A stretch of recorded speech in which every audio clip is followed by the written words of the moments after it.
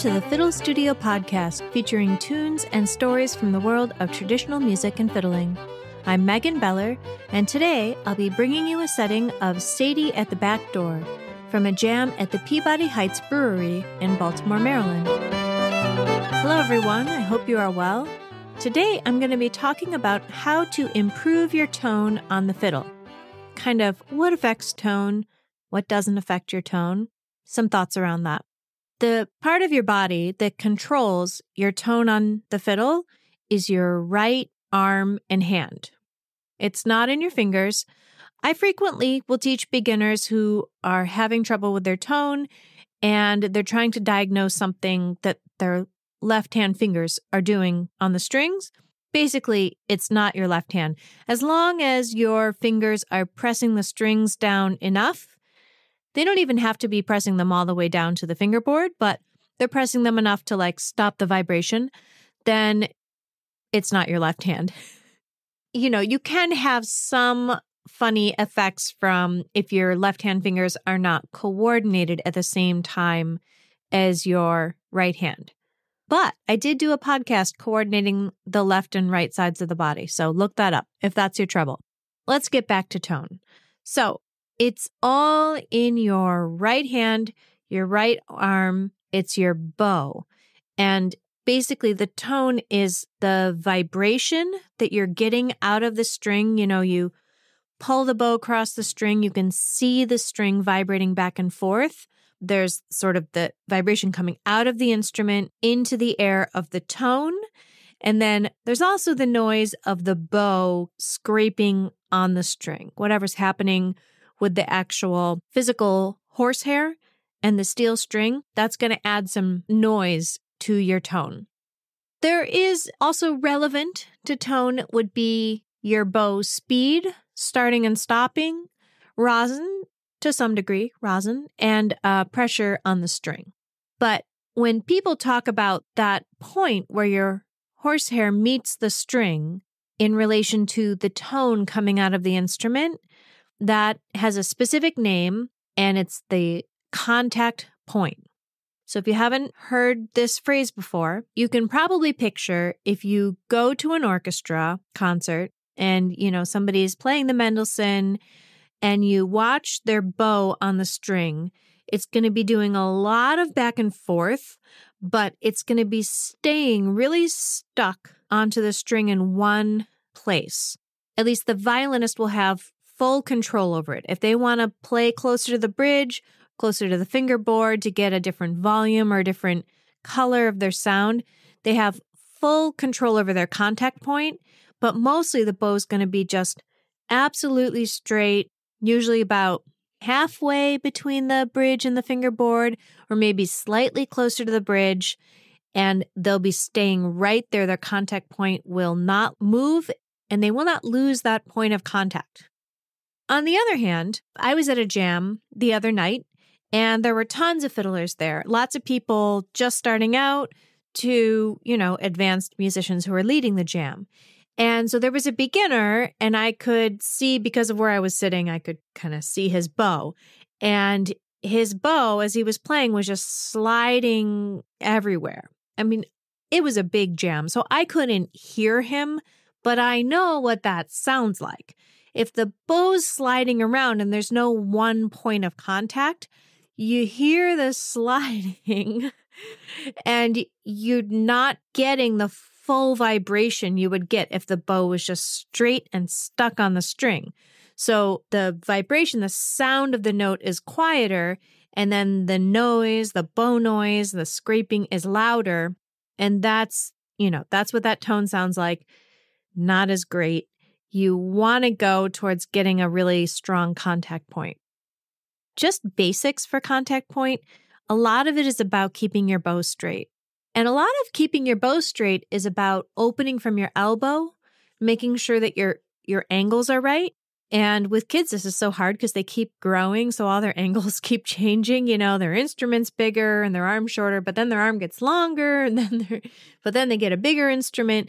So they're always having to adjust their angles. If you're an adult, you just need to find it once. You need to find the path for your arm that keeps a really straight bow. And that's going to be a big part of your contact point. The other levers are kind of pressure, the amount of pressure you're putting into the string obviously affects the tone, and speed. All of these are things that you should have a lot of control over. The speed of your bow, you may move your bow unconsciously, not really thinking about it, but you can work on playing with your bow moving at different speeds. With the pressure, there can be a lot of unconscious movement sort of affecting the pressure of your bow on the string. People who may have a lot of tension in their bow arm or in their arm or their shoulder, or maybe they're pressing down too hard and it's really hard for them to relax enough to let off enough of that pressure to just have a good contact point, but not like a crushing contact point in the string. Or there's a lot of people who are kind of afraid of the string, you know, and I mean, the violin can make some weird noises. And so they're tense, but they're holding the bow back from the string. And they're afraid to kind of relax and put their weight down into it, which would actually get more vibration, more sound from the instrument, and the sound would fill out and cover up the bow noise and make their tone sound better. I hope this is making sense the way I'm explaining it. It's really all about getting that good contact point and keeping it as you're playing. Now, starting and stopping the bow kind of messes with this. If you have your bow straight and in control and you're using a good pressure, good speed, and you've got it sounding good while the bow's moving, you still may have tone issues when the bow starts or stops or changes direction.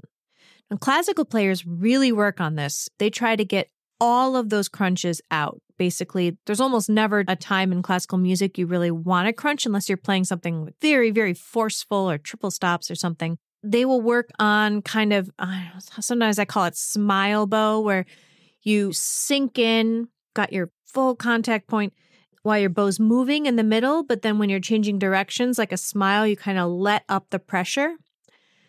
For fiddling, I use in in my fiddling, it's a little crunchy. It's a little percussive.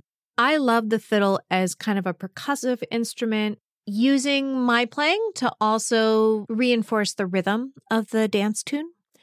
I leave a little bit of that grip, that kind of sound when I'm changing directions.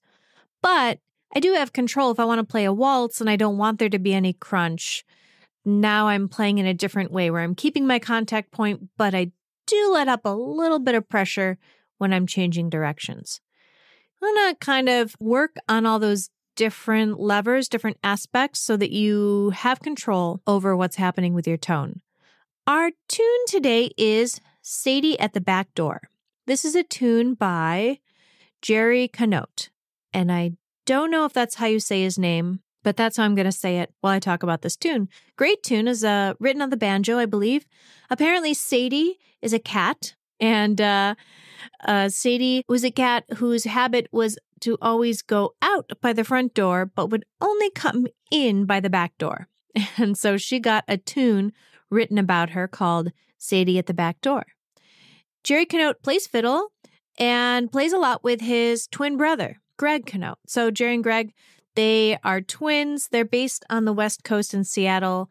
They were for many years the Canote brothers, the kind of sidekicks on uh, Sandy Bradley's Potluck, which was an NPR show playing music. They play all kinds of tunes, fiddle tunes, also swing, novelties, songs. They sing, they play all their instruments, you know, all the stringed instruments fiddle, guitar, banjo, ukulele, great duets, really nice harmony. I was checking them out a little bit. Jere builds banjos and teaches banjos. It's kind of his specialty. And so if you, yeah, if you want to buy a banjo, you could look him up. I think his studio is called Small Wonder Banjos. And I did, as I was researching him, find a banjo joke that he told in an interview. Here's the banjo joke before we play this tune, Sadie at the back door. What do you never get the chance to say to a banjo player? Is that your Porsche out back? Okay. Charlie's a banjo player. Here it is, Sadie at the back door.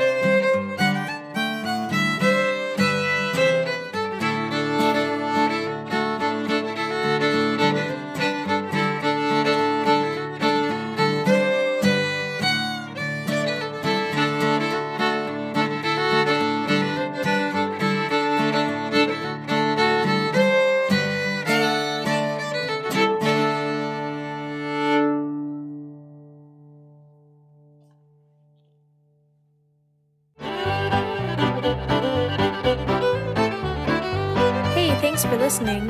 You can head over to fiddlestudio.com to find sheet music for this tune and more information about becoming a member of Fiddle Studio. I'll be back next time with another tune for you. Have a wonderful day.